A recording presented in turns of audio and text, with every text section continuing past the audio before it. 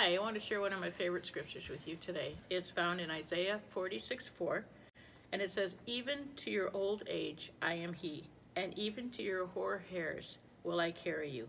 I have made, and I will bear, even I will carry and will deliver you.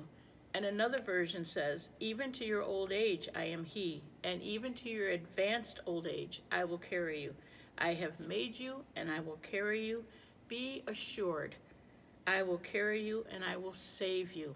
And I love this so much, probably because of our great work we do with the elderly in convalescent homes and homes, and just even yourself. It's nice to know that God is there and to see a smile on an old person's face when you tell them that God is going to take care of you, don't worry. He's got you. It just blesses our hearts and it blesses their heart to see that smile come on their face.